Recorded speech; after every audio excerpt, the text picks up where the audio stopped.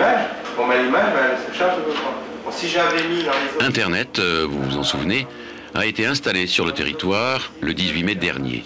Et depuis cette date, les 40 utilisateurs qui ont souscrit un contrat d'abonnement sur le territoire se plaignent de la lenteur qu'ils rencontrent à pouvoir feuilleter les pages web.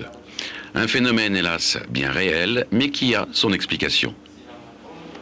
Nous partons donc de Wallis, où il y a 40 abonnés avec 10 modems pour accéder au serveur de Wallis, ce qui est une situation extrêmement confortable.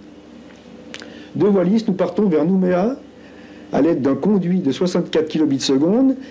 La situation est tout à fait normale, je dirais même qu'elle est très fluide, comme vous pouvez le remarquer par la présence des pavés rouges. La situation se complique lorsque nous arrivons à Nouméa. Nouméa, 1000 abonnés, 24 modems pour accéder sur le serveur. Et là, il faut rejoindre Singapour et le conduit numérique n'est que de 128 kilobits seconde.